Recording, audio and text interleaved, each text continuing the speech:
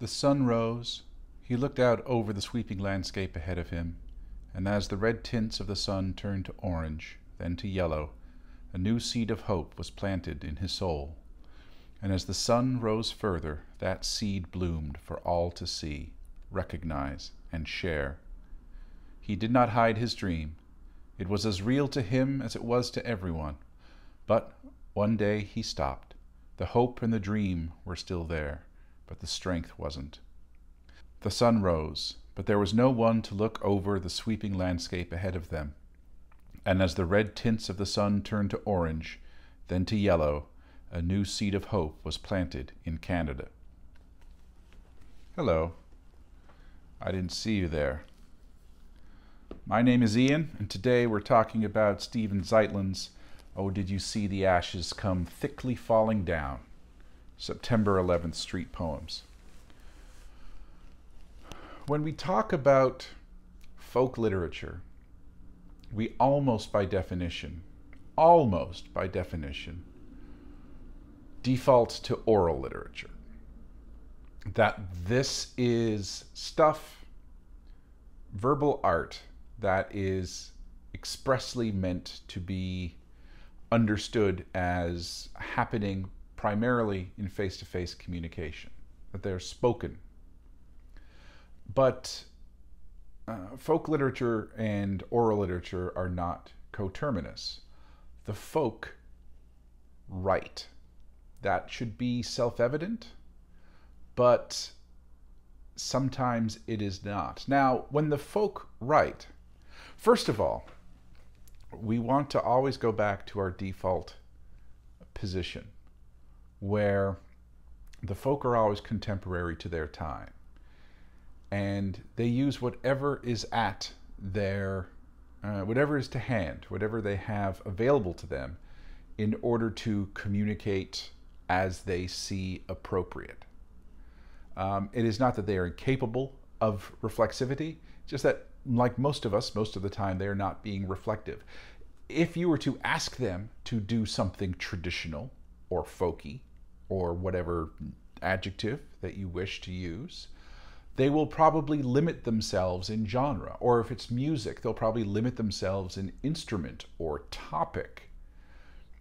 But if they are merely expressing themselves uh, in the way that we tend to express ourselves for purposes of communicating to the people who are immediately present to us in a manner that is uh, understood to be important and understood to be relevant and understood to be aesthetically pleasing to the people who are immediately in front of us, then they will just use whatever they have to hand. We will just use whatever we have to hand. It's always so strange talking about the folk in the third person, but sometimes you just need to in order to hammer down the, the idea more clearly. So sometimes there comes a point when it is important to write something. To write something because you have you understand that that is an appropriate response. It is still an immediate response. It is still has that idea of a certain amount of ephemerality uh, with perhaps recognizing that by doing certain forms that clearly announce themselves as having been thought out and, and announcing themselves as having been something more than merely spontaneous, although spontaneity is not a, a negative. Um, something that is that announces its elaboration and something which commits itself to a medium like text or commits itself is especially created for particular occasions where even if the occasion is um, ephemeral it is uh, it is important that the words are crafted in a particular way the poem i just read by andrea Koziol was uh, written specifically at a Canadian Cancer Society meeting in January of 1984. So whether it was commissioned or whether it was something that she just asked if she could do, um, there was a deliberateness to it. But it doesn't necessarily mean that there was going to be a life beyond that. Folk poetry is using the conventions and the expectations and the understanding of uh, poetic form, sometimes in the form of parody, no less, taking specific poems and replacing words and replacing uh, aspects to uh, re- replacing key signifiers. And parody, not necessarily in terms of, of, of comic parody, but parody in terms of replicating uh, a verse form or replicating a form, and in this case, a verse form, that implies that the reader would be aware of the original model and is making connections between this one and the original model, and not necessarily ironic juxtapositions that like of more comic parody might suggest. And what is more, um, the occasions and the places for it. So uh, often, if you have a community newspaper, um, and it doesn't need to be a very small community newspaper. The Cape Breton Post will have them on occasion in the form of letters to the editor. People will feel impelled to write pieces of verse. And uh, we have so much in the archives of verse that was submitted to newspapers uh, as a way of commenting on the moments of the day, commenting on something, either a person or an event. And it doesn't always need to be elegiac, it can be celebratory as well.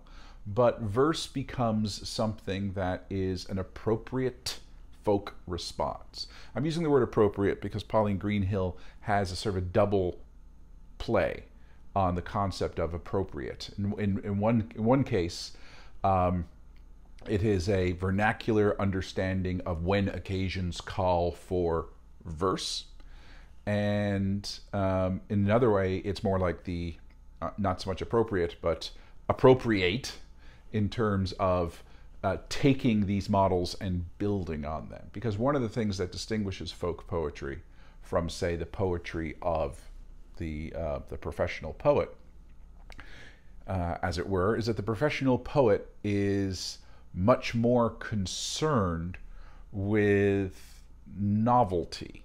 In the reading, he's describing the a project that his group City Lore did, where they created or commissioned, as it were, two uh, poems, each 110 lines long, to represent the 110 stories of each of the towers, uh, the Twin Towers in, in uh, New York City, of the World Trade Center. Um,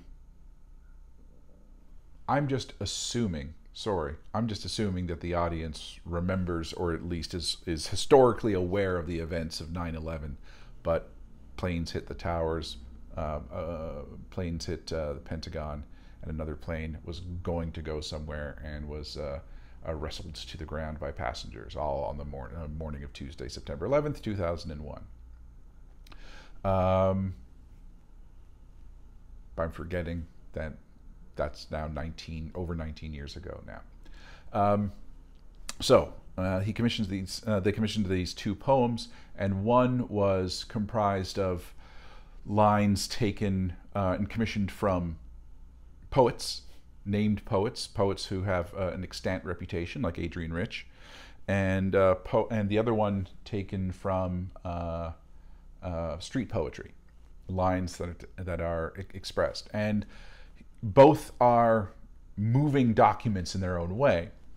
But uh, he points out the um, the well-known poets whose work appeared in Tower 2 sought to move outside the well-worn ideas of the street poems. A number of them were concerned with words themselves.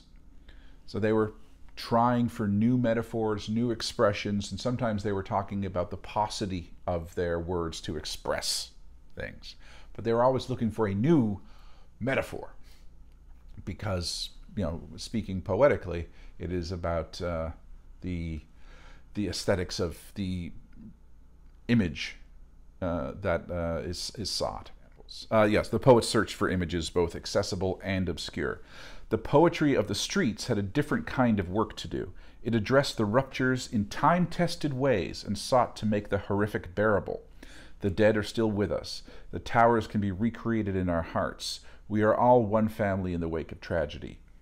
uh, kill the bastards, as one, one quote says. The People's Poetry of September 11th engaged the city in a rhetoric that affirmed and reaffirmed these simple ideas.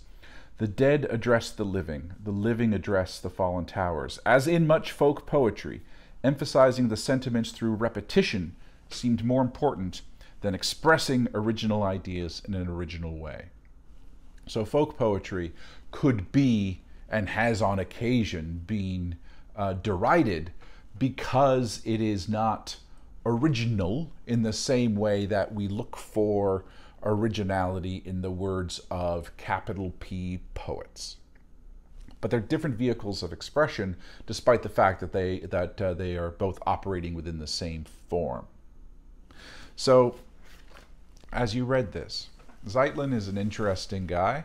Uh, in addition to being one of the most important public folklorists in the United States by by having I think he started, and if he wasn't the if he wasn't the initiator of it, he was certainly the standard bearer for decades of City Lore, which basically was the public folklore arm uh, uh, organization for documenting um, New York City, and he, he has a number of books that talk about these, you know, expressive performances, and New York as a as a community of communities, and New York as having its own sort of overriding ethos that is is um, where the one homogenizing factor is heterogeneity and um, and being in place.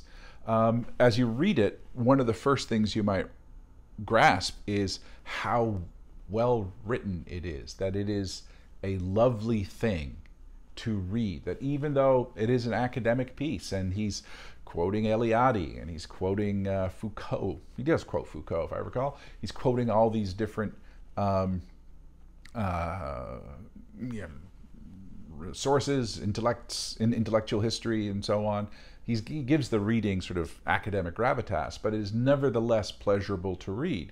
And in part because the other aspect of Zeitlin is he is a great, I'm using the word standard bearer again, for one of the key aspects of the study of folklore that should be an embedded practice. Um, in, that we go through the world, uh, and it is a delightful, we, everyone, not we folklorists, but we go through the world, and it is a delightful thing to aestheticize the world, to aestheticize our pleasures, our pleasurable conversations, to aestheticize our forms, to aestheticize our play, and that it is nice to live in a world that is constructed a little bit also on the basis of what we find beautiful and what we find pleasing. So, the book that this is from, The Poetry of Everyday Life Storytelling and the Art of Awareness, uh, he has chapters about the sort of the beauty of games and the beauty of um, uh, actually the, the, the aesthetics of sex, no less.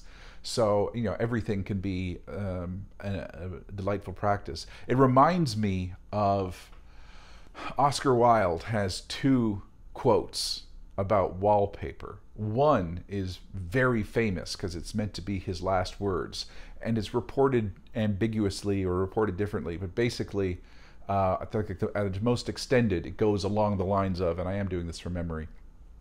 Um, this wallpaper and I are having uh, are having a battle, and uh, one of us has to go. Uh, sometimes it's rephrased as uh, either the wallpaper goes or I have to, and those are his dying words.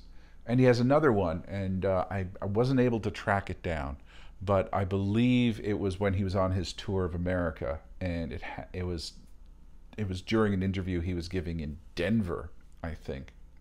So whenever he toured America, the eight, late 1880s, early 1890s, prior to Ballad of Reading Gaol and prior to his uh, uh, imprisonment and so on. Clearly, uh, when he was the leading uh, uh, celebrity, and someone was was saying, um, asking him what was the worst thing about America, words along those lines, and he said, "Your ugly wallpaper." And to me, that's always been a sort of a mission statement of of sorts that there is something about a world that has forgotten that beauty is a good in and of itself, and the aesthetics of life is a good in and of itself. Um, and that it is both, I mean, he's being witty because he's Oscar Wilde and he practically invented wit. But more than anything, I think he's expressing a profound truth that what do we have?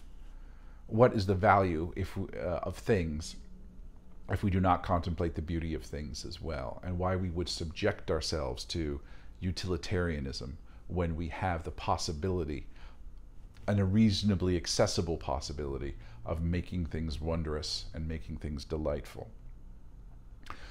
So after the attacks of September 11th, within hours, people were expressing themselves through words through small statements, sometimes as simple as just saying bastards, exclamation point, or sometimes just because that's what one does. One marks things, one renders them into words, and, and certainly communicating a message to people who are not immediately present, despite the fact that ephemerality might be in place.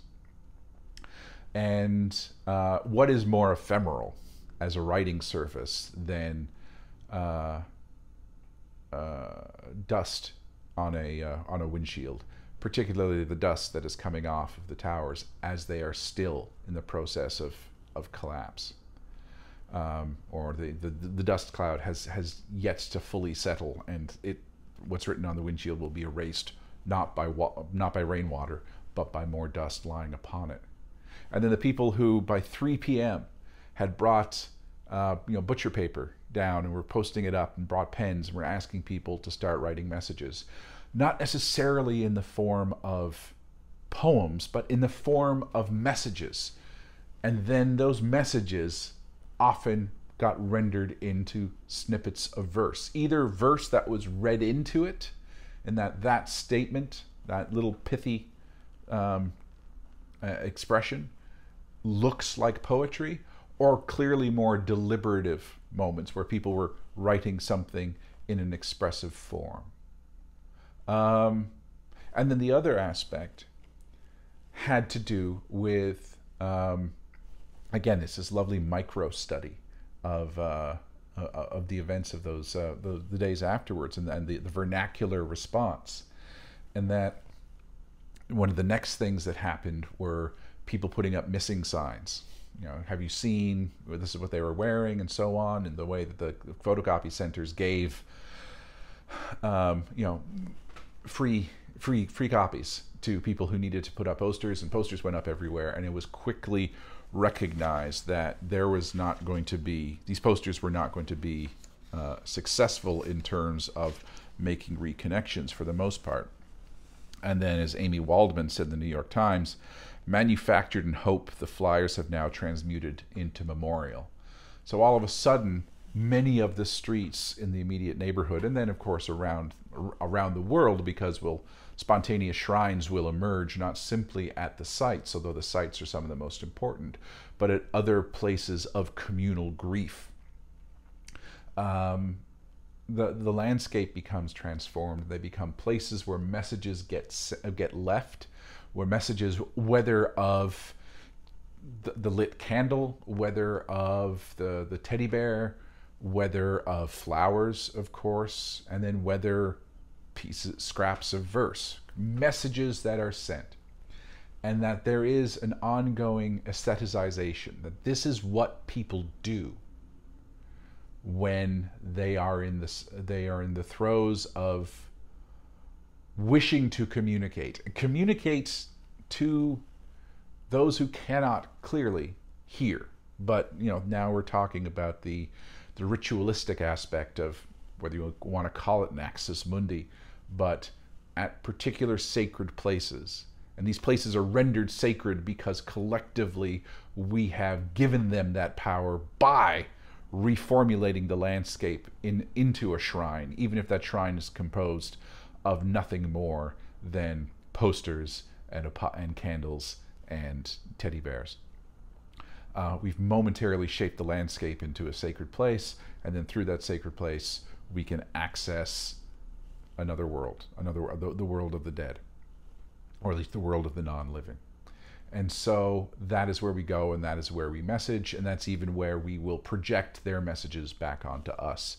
And so those poetries that came back Uh, and uh, and the way that it was that this reformulation of the landscape and therefore this opportunity to express in poetry was done by uh, a very implicit consensus that um, you know doubly so within a crowded contemporary metropolitan city like New York, um, uh, where all space is claimed. Um, the reappropriation of space is a very difficult thing to do, and yet businesses, the city, uh, Parks Department, they all more or less unanimously, but without having to deliberate, um, said yes, that we will allow our spaces to be reappropriated. So again, it becomes this part of collective action.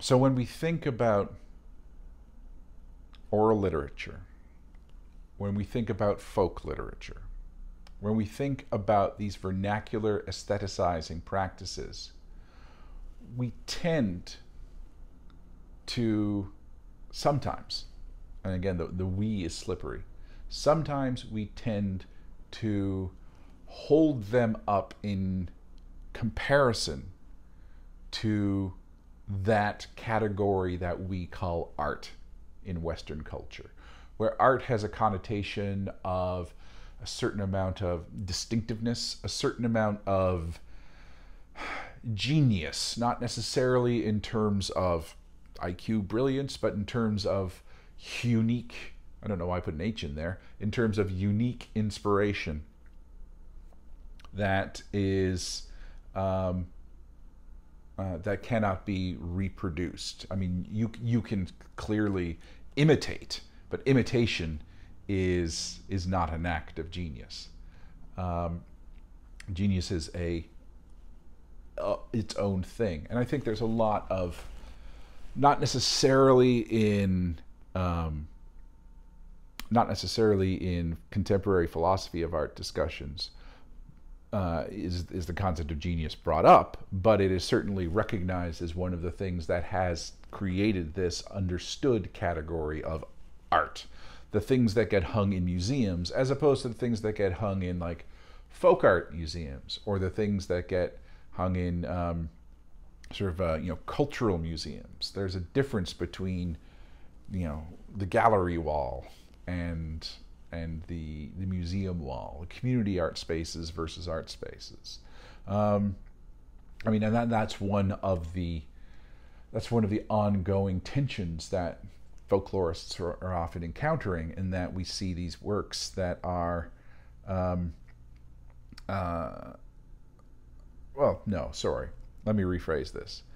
Um, we there is this tendency of be, because the idea of genius is so wrapped up in in how the, well really fundamentally how the academy views art and how high culture understands art and artistry that um, it's difficult to sort of dislodge that that uh, that mentality. And then then we are measuring folk art whether that is um, folk literature, whether that is folk cooking, whether that is vernacular architecture, against the the standards of uh, a uh, gatekeepers of the by the standards of the gatekeepers who are invested in the concept of genius. And we'll think of th- terms of terms like formulaic inherently negatively. Um, and we'll think of things like the appropriation of forms as um, as uh, complex unless one does something radically different with them. And so, yes, in fact, there's there was I remember there was a review of Pauline's book True Poetry, uh, and it's like, yeah, well, this isn't poetry, and that was basically the entire review. She spent an entire, but it was written by a literary critic. It was lit, written by someone who teaches poetry at a university, and and it's almost as if the the reviewer, pretty sure it was a he, um, uh, yeah, it was, Um, it's almost if you didn't read the book in, in terms of, yes, this is the poetry that is written for these accounts. It is different from these things. And measuring it by these things is one of the reasons why it hasn't been examined and hasn't been given due credence. So I am aware that it is not poetry. But basically, he was like, this isn't good poetry. And screw that guy. Uh, Zeitlin has this, as uh, expresses it in this way because it speaks about the immediacy of the form. And that, what, despite the fact that people were using something that um, was not of the level of ephemerality as face to face communications, precisely because the people they were communicating with weren't present because they were dead. They, you cannot do face to face, so you only have this medium of either the materiality of the candle or the text to be read of, of the, the written message. Although, of course, people would go and talk as well. In our culture, we think of art as culling elements from what passes for real life, rearranging them, and offering them as a commentary, metaphorical or lyrical, on our lives. In response to uh, sorry, in response to September 11th, Poems were written with the urgency of art, but put back into the flow of life to take their place anonymously alongside ritual objects that were part of the mourning process. Words were forged into poetry not for art's sake, but to pierce the barrier that separates the living from the dead. In this worldly city, along our secular sidewalks, stoops, and parks in all five boroughs, New Yorkers spoke to one another in a language of symbols and ritual acts, refusing to give death the last words. So, yeah. Now, those, because they were ephemeral, be, because they were part of a spontaneous shrine complex, and spontaneous shrines, almost by definition, end. I mean, they, they can be photographed. The objects can be collected. They can be inventoried. But as sort of a, a, a living monument, they disappear over time. Eventually, the flowers are taken away. The teddy bears were taken away from Kensington Gates when Princess Diana died. All the spontaneous shrines that will sometimes emerge, that, that, that do emerge, uh, eventually they come to an end.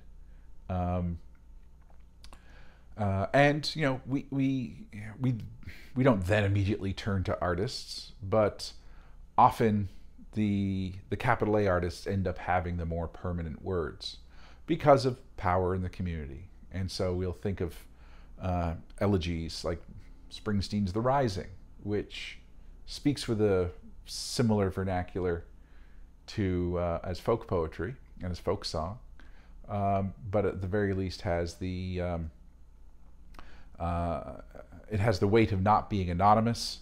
It has the weight of being something from someone who we turn to to express things.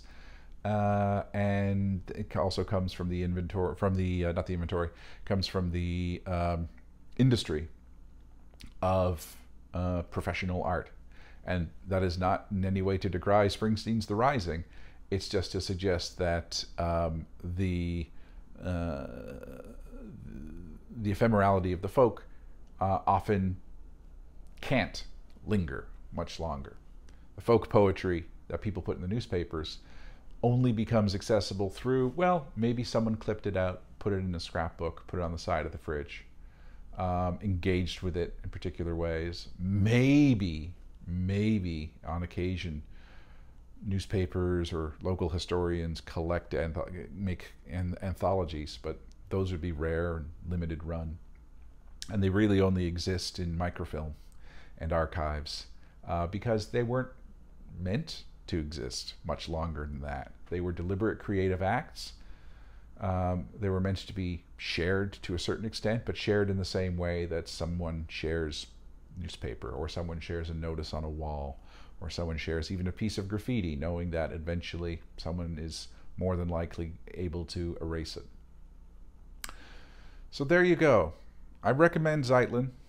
I recommend thinking about, when we talk about folk literature, moving beyond orality, thinking more in terms of immediacy, in terms of ephemerality, in terms of um, expediency. That sounds like a, a, a harsh negative, but it isn't, because it is about expressing oneself and expressing an idea, um, because not because the way that one expresses it is meant to last, but because the idea needs to be expressed now to meet the expectations of the audience and to be fully understood as a communicative act that does what most communicative acts should do fundamentally reaffirm the community between uh, the messenger and the receiver. Okay, my friends, I am done. As ever, I wish you nothing but the best. Be well.